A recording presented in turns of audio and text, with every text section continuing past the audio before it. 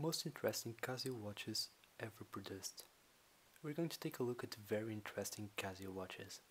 Casio Melody Music Alarm, H108. This watch rings a different music each day of the week as your wake-up alarm. It is no longer in production. So, if you're looking to buy one, expect to pay over $100 for a used one. Casio Vintage X Pac-Man this is a very fun watch that brings childhood memories for many and that is very likely to be a conversation starter and leave a smile in everyone's face. Although it doesn't play the game, it is very good to see Casio bringing back their earliest models and who knows, maybe they'll bring back their game watches. Casio Databank. This is very important to the brand legacy because Casio entered the tech world by producing calculators. Even more interesting is the DBC V50 from 1999, which has a built-in voice recorder, something smartwatches should do. Thermoscanner from 1994 was able to calculate the surface temperature of an object using infrared radiation.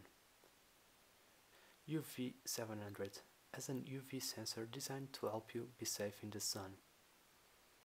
IRBeam JG200 allows to play multiplayer games over an infrared connection as well as controlling a television.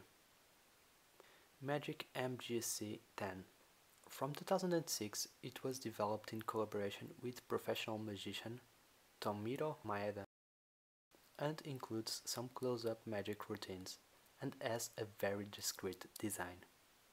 Prayer Compass CPW 100 is used to help face Mecca for daily prayers and as a timer. G-Shock This Casio line is considered to have the most durable watches in the world. The cheapest of this line, that is based on the case from 1993 G-Shock, the DW5600E1V, was considered the most durable watch according to Guinness until 2017. This watch is said to endure any adventure without any problem and will survive anything without worries. How amazing is this better watch? Casio G-Shock GA2100 1A1 aka Casio Oak. This watch catches the attention of many watch enthusiasts as its shape is very similar to Audemars Piguet Royal Oak. There even exists kits to transform the watch into the almost perfect homage of the Royal Oak. Leave in the comments which is your favorite Casio and let me know if there are any other models worth looking at. Enjoy your time ImparTimer.